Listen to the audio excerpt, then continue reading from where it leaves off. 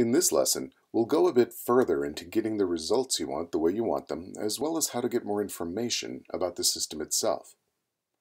Just as with SQL, you can add whatever filters you need to get the results you want.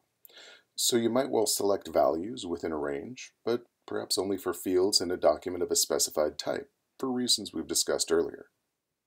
You'd also likely build a corresponding index for your query. When results come back, you may well want them sequenced differently than they may be stored, so you can order your results by one or more fields in ascending or descending order, with each subsequent ordering in the list happening within the sequencing from the prior field.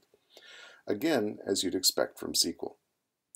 Where there are variances in the existence of a field, again because this is JSON, fields are not required, or in the value for a field being used for ordering, there is an inherent comparison sequence as shown. You'll see documents that are otherwise validly selected, but with missing or null values come up first, as this may be crucial information. The rest of the comparison sequence plays out in a logical fashion, as you see, including in the way that it handles multidimensional data embedded within your documents. Similar to system tables in a relational database, Couchbase stores system information in a series of system buckets within a common system namespace so that this data is accessible by query. You select all or specified fields from one of a variety of different system buckets. Available system buckets include your list of key spaces, which is the internal term for what we normally call buckets, as well as your indexes, your nodes, completed and active requests, your user info, and more. You filter appropriately based on observing the document structures to get the data you want, such as selecting data for a particular bucket by ID. As you'll see ahead, you can access all these names using tab completion in Query Workbench. Earlier, we mentioned you can grab the ID of any document from its metadata. The metadata for any document is accessible directly in a N1QL query by using the meta function, which returns five values as an object. The CAS, or check and set value, which is used to support optimistic locking through the SDK. An expiration, or TTL, time to live value, for documents that have been configured to automatically expire. There may be various flags added by specific SDKs. You'll have the document ID, or key, whichever term you prefer, but here it's listed as ID, as well as an internal type identifier, which will commonly be set as JSON. Note though that this type identifier in the metadata is different from the type field we've suggested adding to your own documents to support query filtering. Let's take a look at some of this over in the Couchbase UI. At the moment, I only have one bucket deployed, Couch Music 2, and in my instance, I only have one currently deployed index, the primary index. These demos will be a bit more interesting with more data and indexes, so I'm going to go over to my settings view, go to sample buckets, and deploy the travel sample dataset. Over in my buckets view, I now have travel sample available with this number of items. I also have a whole series of indexes, though, that import along with travel sample. I want to go back to my query view, though, and take a look at how we can access all of this via N1QL queries, meaning we could get all of this data via the SDK.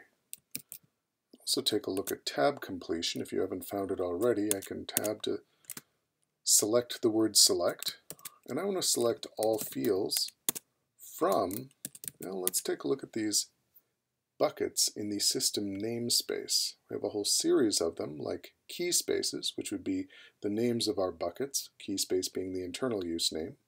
We have our indexes, we have user info, the number of items here. I'm actually going to back this up, and I want to take a look first at our indexes. Go ahead and execute this. We see a series of JSON objects come back. Could also look at them in tabular form, but I see, for example, I have an index named def airport name, and yes, if I went over to my indexes view, there we have def airport name as well. Other system data I could access might be active requests. Now, active requests is a query that is continuously executed as part of query monitoring by the system itself to grab statistical data about current performance on the system. And I might also look up key spaces, put this in tabular form, and you see that we have the two buckets that are currently deployed on my instance. Now these being queries, I could filter, for example, only where the ID couch music 2. The point here is that artifact names within the system, like couch music 2, and even field names from documents, like country code and address.countrycode, are also available in tab lookup. Those come from the work that's done to maintain the bucket insights view. So I'll select couch music 2 here, run the query, and as you might expect, I get back only data for that bucket. Now separately, I want to go over to the documents and examine this idea of metadata. I'm going to open my first user profile document and notice that we can bring up our document metadata here, corner, and we get our ID, revision, expiration flags, and type, just as we talked about on the slide. I'm going to grab this first ID and copy it out. Go ahead and cancel my way out of this view, go back to my query, and now I want to select my metadata, and I'll give it a more usefully named key in the resulting object of meta from couch music 2, but I only want metadata for the key that I pulled out of the documents view. Go ahead and execute that, and we see the data come back here in, again, tabular form or JSON form, whichever you prefer to display here. The larger point here being that all of this information is available to you at any point from the SDK. In fact, a broader point to be made here is everything you see happening in the Couchbase UI is accessible via REST API. Or in the case of live information like query monitoring and so on, it's available to you via N1QL.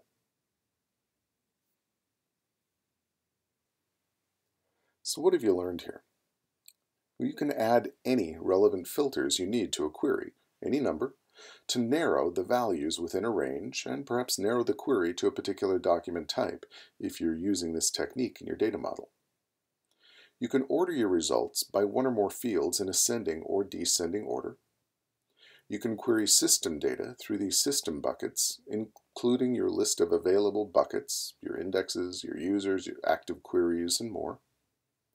Tab completion in Query Workbench lets you easily look up system bucket names, as well as your current bucket names and a whole lot more as we saw in the demo. And you can access the metadata for any document directly within N1QL, including the document ID, any time to live, check and set value, internal type, and SDK flags. In this lab, you'll work further with selecting just the data you want and seeing how your queries line up against available indexes. And of course, we encourage you to play around. Go in and create some more indexes. Add, drop, twist them to your will. Have some fun. Next up, we'll look at data aggregation, distinct values within a query, wildcard searches, and covering indexes. Come on back.